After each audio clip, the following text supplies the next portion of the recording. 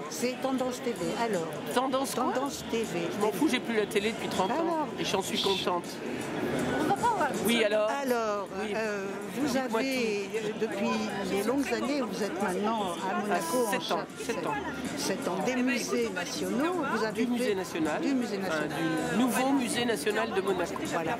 Vous avez euh, apporté un, un coup de, Non, un mais coup vous de pouvez y aller, je m'en fous. Bon, mais je- Oui, oui, non, je m'en fous. vous avez apporté un coup de vent, euh, un coup de, de modernité sur euh, Il y ce avait, musée. oui, mais il y avait mon prédécesseur qui avait fait la préfiguration du, du musée. Il y avait un grand projet en mer, vous savez, un grand projet qui devait se faire en mer et qui finalement s'est pas fait. Et, mais il avait donc amené quand même une vraie réflexion sur les collections et de voir comment on pouvait déjà euh, réfléchir autrement. mais là, la programmation, oui, oui, mais parce que là, on ne peut pas vivre, même quand on travaille à partir de nos collections, on ne peut pas vivre en- autrement qu'en 2016. Même si nous avons le souci de garder, de préserver le patrimoine, mais c'est pourquoi C'est pour redonner euh, quelque chose pour le futur, pour les générations futures. Si c'est que pour euh, avoir la nostalgie du passé, c'est pas intéressant. Donc euh, je, crois que c'est ce cas qui m'a toujours passionné dans ma carrière, pas seulement ici, c'est cette possibilité de, je crois, de toujours croiser le regard des artistes aux collections. C'est que Thomas demande, la première exposition qu'on a faite à Paloma, c'était ça. Il est venu avec un regard très précis.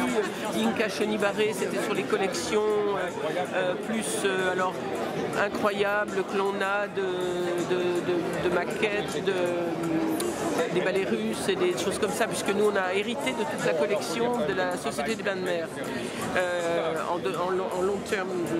Et en fait, euh, c'est je crois une chance parce que ça raconte aussi Monaco. Monaco, c'est un lieu événementiel. Là, par exemple, en ce moment, dans le Grimaldi Forum, il y a Jerry Kilian pour les 30 ans du, les 30 ans du, du- de, la- des ballets de Monte Carlo. Et euh, Jean-Christophe Maillot a, invité Jerry et c'est un magnifique spe- spectacle. Si vous voulez, vous aviez ça, puis vous avez ce soir la Nuit Blanche, et puis vous avez ce salon.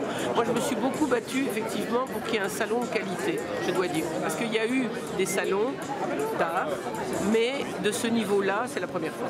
Et alors, ce que vous disiez dans votre petit discours, est-ce que j'ai senti une petite pointe de nostalgie, peut-être pas de nostalgie, mais de regret, comme si finalement Monaco avait un peu de mal à jouer dans la cour des grands au niveau international et avec Non, ce salon, vous avez l'impression que Bah, C'est-à-dire ça y que non, c'est que c'est que parfois on ne nous comprend pas de l'extérieur.